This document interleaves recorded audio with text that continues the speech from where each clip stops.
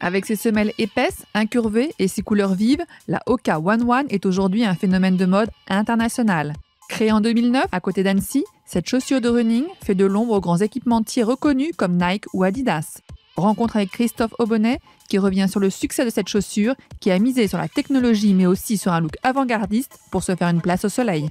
Les fondements de l'ADN de Oka viennent euh, du raid aventure. La clé de départ, c'était vraiment la force et le produit. On invente quelque chose et on fait en sorte que l'emballage soit le plus complet possible pour qu'il soit d'autant plus convaincant.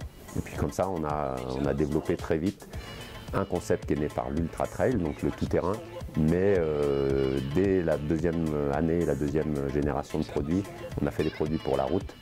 Parce qu'avec ce qu'on avait comme retour d'expérience des gens à qui on les avait testés et euh, certains athlètes qui les ont adoptés assez vite, on a compris que dès le départ, euh, ce qui collait très bien pour des pratiques élites était peut-être encore plus vrai et intéressant comme bénéfice pour un jogger du dimanche ou pour un coureur occasionnel. Ce qu'on a fait, c'est qu'on a surdimensionné la semelle pour filtrer, avoir plus d'amorti, mais tout en mettant plus de volume. Très vite, on s'est dit, on va l'incurver pour aider aussi au déroulé. Et ça met une assistance au déroulé, aussi bien en course que même en marche. Et cette assistance-là, c'est quelque chose de très nouveau.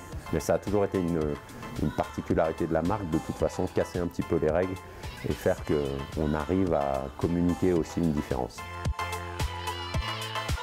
Oka, euh, ça vient du langage euh, maori polynésien et ça signifie voler, planer en polynésien. Ça correspond à euh, la promesse de départ avec les chaussures de sentir qu'on est quand même très léger, on a envie de voler un peu sur les chemins et puis de, de galoper, que ce soit en descente ou dans plein de circonstances, de manière très légère. Et en France, maintenant, on est devenu un des trois acteurs dans la distribution spécialisée running, une des trois à quatre marques les plus distribuées, ou en tout cas ceux qui sont euh, les plus réclamés pour être sûr d'être sur un mural running. Parce qu'on représente une nouvelle tendance et, puis, euh, pas qu'avec un seul modèle ou deux, mais maintenant on a une belle offre.